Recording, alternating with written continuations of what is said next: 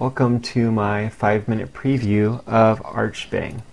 Now, Archbang is based off of Arch Linux.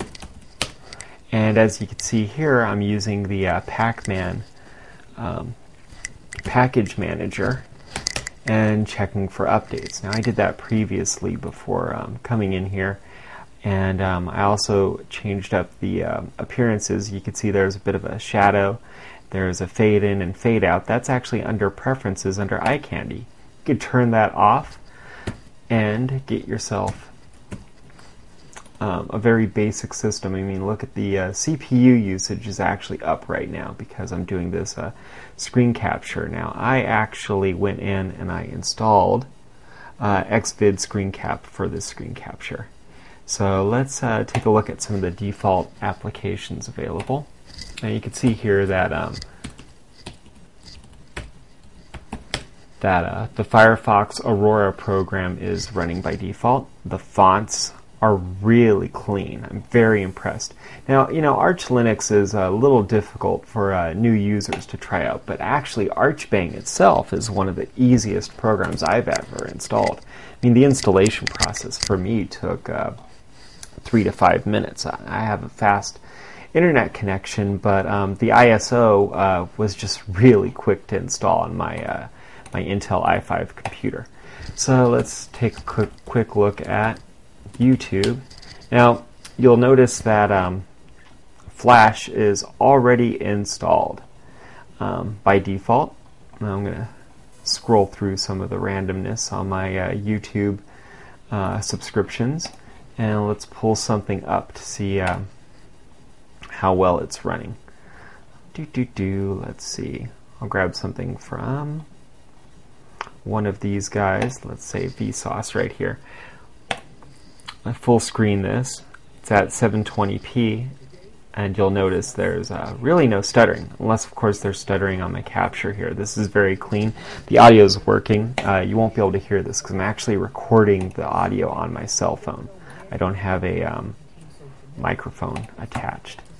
So let's see what else comes pre-installed here. Now this is um, Arch Linux with um, OpenBox on top of it, so it's it's very low um, usage. So let's check out and see how much we're actually using right now. Go into um, whoop, Application System Tools and go into the terminal, and we'll see that I'm only using 163 megabytes of RAM while I'm doing the screen capture. Actually, upon boot, it's getting about 64 megabytes of RAM. So this is really fast and snappy for uh, new and old computers. I'm very impressed. In a way, it's um, actually much faster than my um, XFCE install I had on Arch Linux a few minutes ago. Now, as an Arch Linux user, this is so easy to install.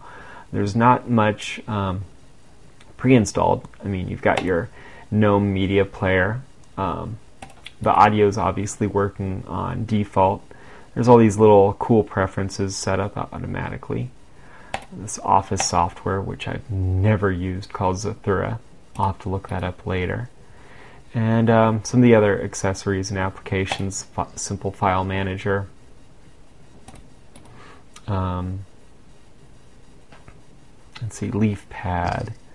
Now I think I can go in here under preferences and mess around with my uh, configuration files, but that's pretty much it. I mean, Archbang is totally uh, a super easy to install Arch Linux uh, base. So if you're the kind of person that wants to uh, give Arch Linux a shot, but um, don't have very much experience, maybe you've tried it a couple times and found that it's uh, not installing for you, try uh, try Archbang, give it a shot, get um, used to um, you know, to Pacman.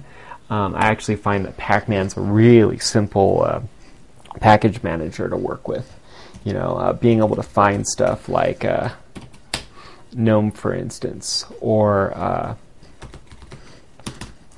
well, let's do a search for LXDE. You know, super super easy to uh, find what you're looking for. It's a simple command. Well, um, I'm very impressed with this. I think I'm going to keep it on my computer for a little while since uh, my Arch Linux install got destroyed by VirtualBox.